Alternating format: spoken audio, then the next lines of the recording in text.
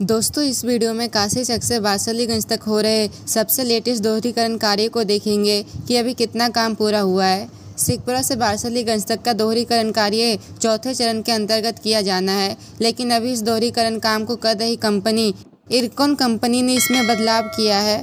पहले जहाँ इस रेलखंड के दोहरीकरण का काम पाँच चरणों में किया जाना था, इसको अब सात अलग अलग चरणों में पूरा किया जाएगा, जिसमें से पहले तीन चरणों का काम पूरा हो चुका है और चौथे चरण में शेखपुरा से काशी चक तक का अगले महीने तक काम पूरा हो जाएगा।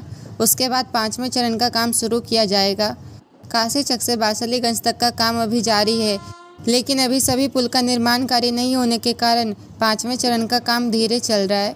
काशी चक से बासलीगंज तक की दूरी 10 किलोमीटर है तो इस 10 किलोमीटर का काम तो लगभग तीन महीने में पूरा कर लेना चाहिए।